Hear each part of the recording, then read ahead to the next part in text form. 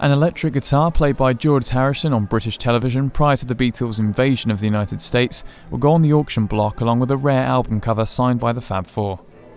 Harrison's black and white 1962 Rickenbacker 425 electric guitar is expected to fetch between $400,000 and $600,000 at an auction in May at the Hard Rock Cafe in New York.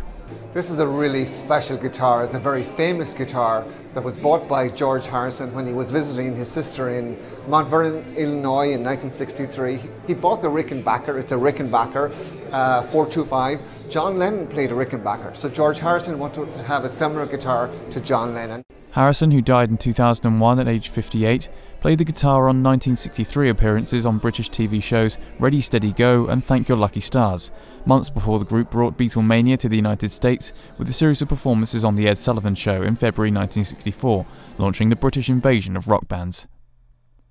The guitar, which Harrison had painted white and black to match John Lennon's Rickenbacker guitar, was also used during the sessions when the band recorded I Want to Hold Your Hand and This Boy in October 1963. Yes, so George Harrison gave the guitar to one of his dear friends who worked at Apple Studios, and then that gentleman sold it at auction in 1999.